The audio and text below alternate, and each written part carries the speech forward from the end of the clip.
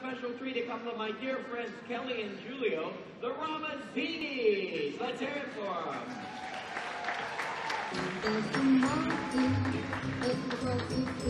them.